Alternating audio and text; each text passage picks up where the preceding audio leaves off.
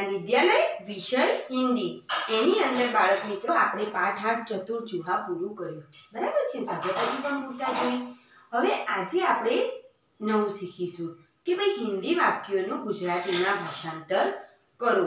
અહીંયા મેં કેટલાક હિન્દી વાક્યો લખ્યા છે, તો તમારે એને ગુજરાતી ભાષામાં ભાષાંતર કરવાનું છે. પહેલું વાક્ય છે કે મેં ચોથી કક્ષા મેં પડતા હું.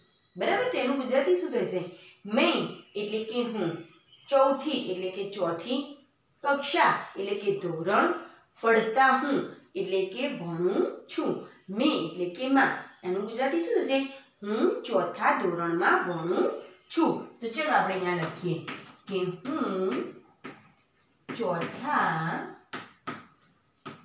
ધોરણમાં ભણું છું. પછી પૂર્ણ વિરામ કરવાનું ભૂલવાનું નહીં. બીજું છે, ચારો ઓર પાણી બરસ રહ્યા હતા એટલે કે ચારો ઓર, એટલે કે ચારે બાજુ. પાણી, એટલે કે પાણી બરસ રહા થા, એટલે કે વર્ષી રહ્યું હતું.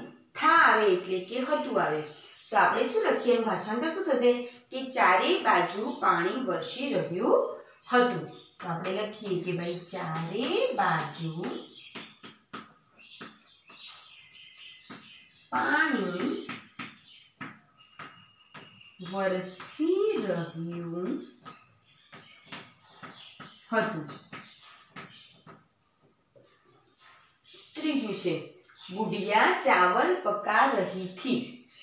બુઢિયા એટલે કે એનું ગુજરાતી શું કહીએ? આપણે ડોસીમાં પણ કહીએ અથવા બુઢિયાનું બોડિયા એ કહી શકાય.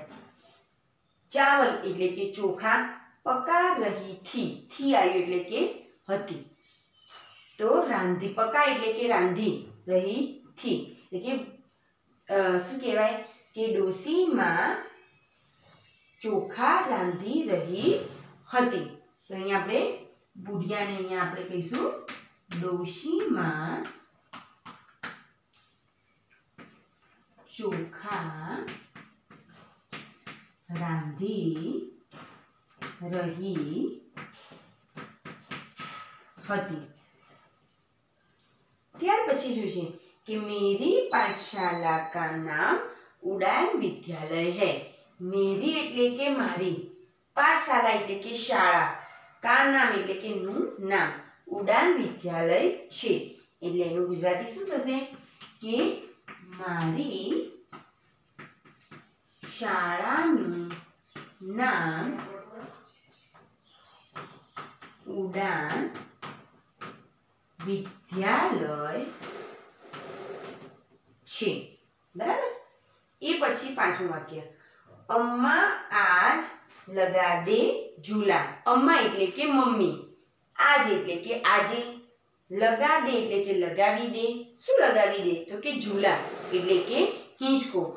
મમ્મી આજે હિંચકો લગાવી દે તો આપણે લખીશું મમ્મી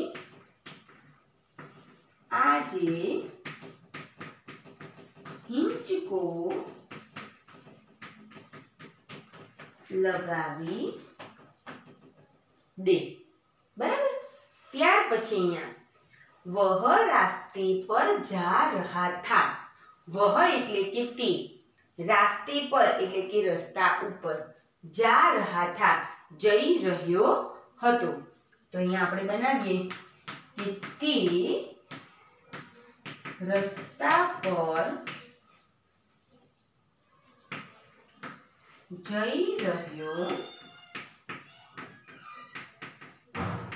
હતો ત્યારબાદ મેં ક્રિકેટ ખેલ રહા હું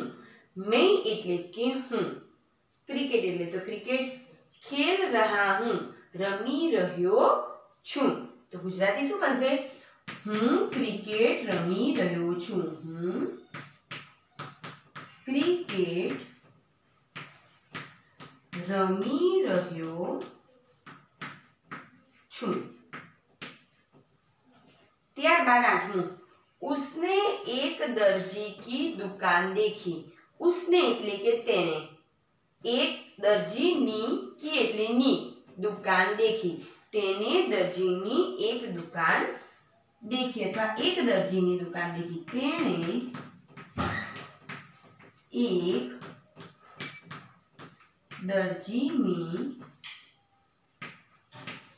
दुकान